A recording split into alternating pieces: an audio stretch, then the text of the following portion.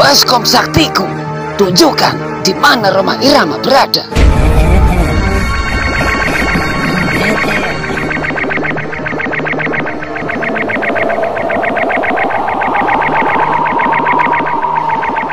Kau harus berhati-hati, Roma. Eh, apa maksud ibu? Sekarang Mak Lampir sudah bebas dari peti yang membelenggunya. Dan dia pasti akan membalaskan dendamnya kepada seluruh keturunan Kiai Jabat. Apa hubungannya dengan saya, Bu? Kiai Jabat itu adalah kakekmu. Dulu dia yang mengalahkan Mak Lampir.